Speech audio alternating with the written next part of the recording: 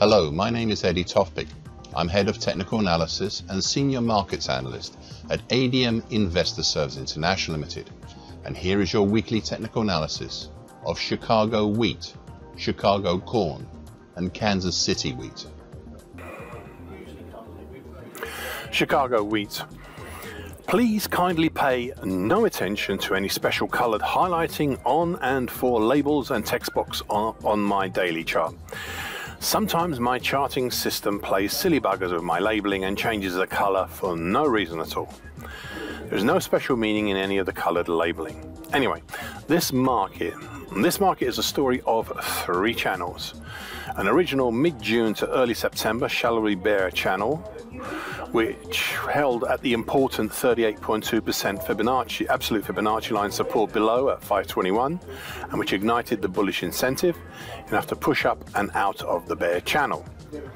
The subsequently created early September to mid-October bull channel, the second one, that peaked with a V-top uh, type formation in early to mid-October, and most recently the third one, third one, um, a small mid-September to early November bear channel, which, which prices this week have exited out of literally by just going sideways. Now, two things to note. The September to October bull channel and the October to November bear channel together have made a V-top pattern. The neck for such a pattern is approximately between the December 2020 low at 566 and the bright red neckline extension, currently 563, of the February to April reverse head and shoulders bottom. We were on our way down to there until this week, and I suppose last week as well. And then prices started getting supported by the medium moving average, currently at 578. The long moving average, currently 592, and the congestion zone 588 to 592. It also leaves hanging out there somewhat the primary target X for uh, at 564 and a harder to reach secondary target X1 at uh, 561 for the breakdown from the original September to mid-October bull channel. However, all is not lost, as it could very well be that the action over the last week and this week may be forming a handle, so a V top with a handle or extension to the V pattern. I'd suggest watching carefully this market as this would still fit in with the potential targets below of target X and target X1. Chicago corn. The gapping break higher in mid-September led to a small late September to early October bull channel that pushed up over both the gold long moving average, currently at 432, and the November 2020 high at 439, eventually peaking up in the 450 to 455 area in what appeared to be thin air, but in reality was the congestion seen from March to June, as well as back in January and February.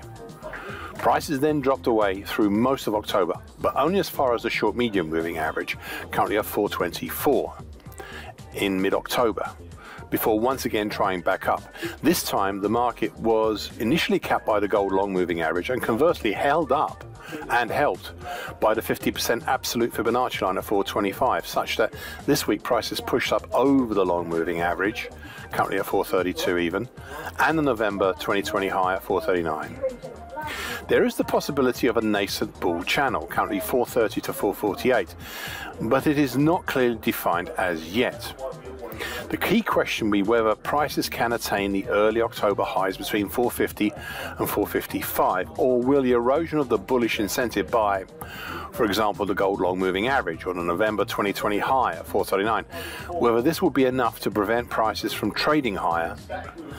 I doubt as there is quite a lot of ammunition stacked up below. I do believe there's enough below to, to help it between July and September.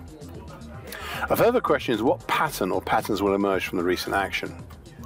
Apart from the bull channel idea, I don't see anything popping out as an idea at the moment, so I guess I'll just stick with what I have, the nascent bull channel.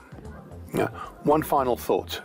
Just keep an eye further up overhead on the extension to the very slowly descending lower trend line, currently at 464, of the July 23 to January 2024 descending triangle. I suspect this may become key at some point, much as it did back in May this year when along with the long moving average, prices were capped by them. Kansas City wheat. Much like Chicago wheat, this market is a story of three channels.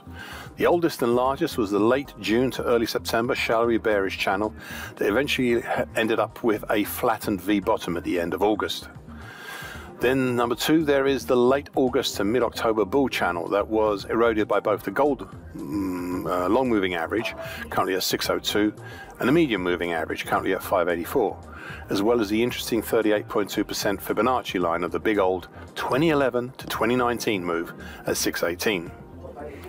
And finally, the third and most recent and smallest, the early October to date bear channel that looked good until these past two weeks when it met the bright red lower trendline extension, currently at 579 of the big old November 23 to April 24 descending triangle, and got stuck.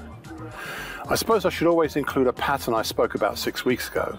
Also include a pattern I spoke about six weeks ago when I said, and I quote, during February through to April, we saw the development of a rectangle pattern based on the 551 to 590 area.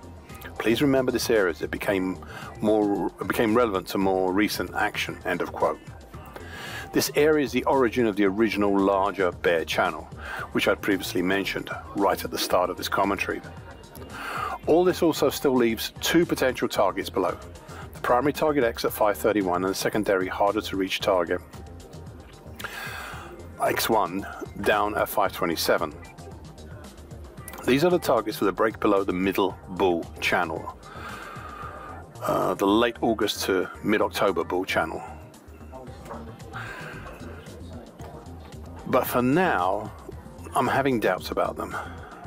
But for now, I'll leave them on my daily chart. I won't take them off. I'll leave them on there until something better comes along. I guess it all depends on what the market will do with the bright red trend line extension and the congestion below between 551 up to 590. Thank you for listening. This weekly broadcast gives the essential market patterns and consequences. Please be aware of the risk disclaimer posted both at the front and at the back of this broadcast. Copyright is Eddie Tofpik and ADM Investor Service International Limited. And here comes the final important bit.